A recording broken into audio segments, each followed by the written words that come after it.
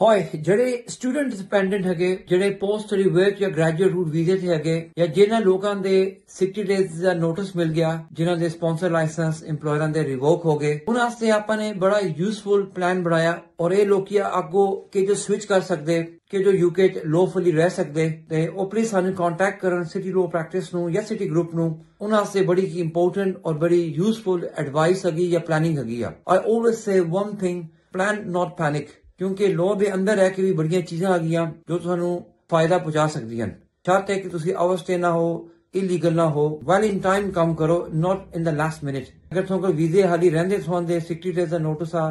ਜਾਂ ਤੁਹਾਨੂੰ ਕੋਲ ਟਾਈਮ ਹੈਗਾ, ਖਾਸ ਕਰ ਸਟੂਡੈਂਟ ਡਿਪੈਂਡੈਂਟ ਜਾਂ ਪੋਸਟ ਸਟੱਡੀ ਵਰਕ ਵਾਲੇ, ਜਾਂ ਜਿਹਨਾਂ ਲੋਕਾਂ ਨੂੰ 60 ਡੇਜ਼ ਦਾ ਨੋਟਿਸ ਆ ਗਿਆ। ਬਹੁਤ ਸਾਰੇ ਲੋਕਾਂ ਨੂੰ ਸ਼ਾਇਦ ਮੇਰਾ ਦੂਜਾ ਐਸਪੈਕਟ ਨਹੀਂ ਪਤਾ।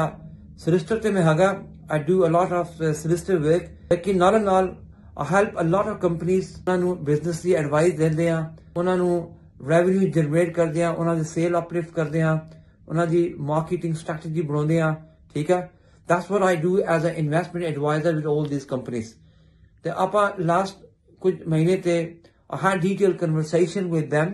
ਉਹਨਾਂ ਨਾਲ ਗੱਲਬਾਤ ਕੀਤੀ। ਜਿਹੜੇ ਸਕਿੱਲ ਕਲਾ ਵਾਲੇ ਬੰਦੇ ਅੱਗੇ, ਉਹਨਾਂ ਨੂੰ ਆਪਾਂ ਕਿਸ ਤਰ੍ਹਾਂ ਜੋੜਾਂਗੇ ਉਹਨਾਂ ਦੇ ਨਾਲ। ਠੀਕ ਆ ਇਸੀ ਤੁਸੀਂ ਬਹੁਤ ਵੱਡੀਆਂ ਫੀਸਾਂ ਵੀ ਨਹੀਂ ਦੇਣੀਆਂ। ਇਸ flexible, easy uh, payment plan as long as one has the skill away or a come karna jab swan the taking motivation away. The rest we will plan it out based on your skill, based on your profile.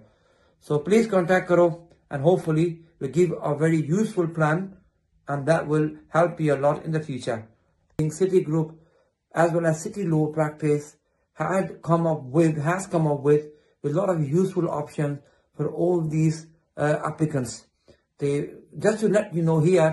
ਜਿਨ੍ਹਾਂ ਲੋਕਾਂ ਨੂੰ ਮੇਰਾ ਪੂਰਾ introduction ਨਹੀਂ ਹੈਗਾ solicitor ਤੇ ਮੈਂ ਹੈਗਾ but as well as I help as an investment advisor with quite a few companies within UK ਆਪਾਂ ਉਹਨਾਂ ਦੀ sales business planning strategy ਸਾਰੀਆਂ ਚੀਜ਼ਾਂ ਤੇ ਐਡਵਾਈਸ ਕਰਦੇ ਹਾਂ to convey the message more effectively on Har Saturday I will be live on TikTok and Instagram